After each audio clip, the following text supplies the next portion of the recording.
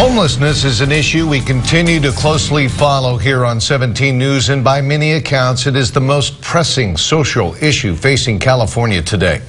Well, today we learned that county supervisors are scheduled to vote Tuesday on a proposed location for a new low barrier shelter. 17's Eitan Wallace joins us now with what this could mean for the homeless population if approved. Eitan? County leaders say this plan goes hand in hand with their goal to provide the homeless with the help they so desperately need. Greg Stevens lives on the streets. I've been homeless about three years, three to four years now. He frequents the area of Golden State Avenue and O Street, the same area where the county has proposed a homeless shelter for this four and a half acre county owned property on O Street, just north of Golden State Avenue. I think it's a good idea. I think that it would be great, you know.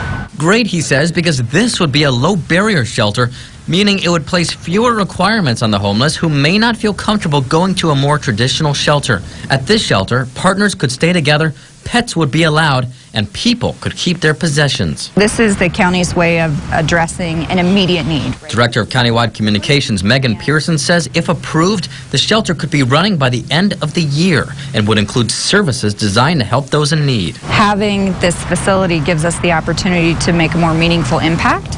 So you'll have those wraparound services like behavioral health and recovery services.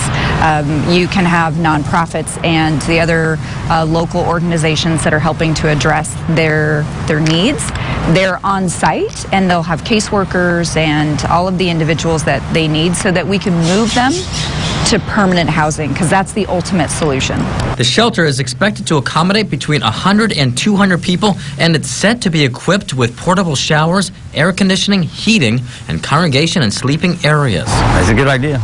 Stevens says this gives him a little more hope for a better future. Yeah, homeless are just like you and I, you know. Uh, miss, little misfortune here or there, or maybe a crossover from an addict to uh, being homeless, you know, and the families, you know, they don't catch it. So when they, get, they have these shelters, at least they have somewhere to go. Now, if you're wondering what this will cost in terms of your tax dollars, well, Pearson tells me it should be less than a million dollars to get the shelter up and running, but annual costs to maintain the shelter remain unknown. Meantime, Bakersfield Mayor Karen Goh and 3rd District Supervisor Mike Maggard issued a joint statement in which they called this a positive step forward. And again, we want to remind you, county supervisors are scheduled to vote on the proposal at their next meeting on Tuesday. In studio, Eitan Wallace, 17 News.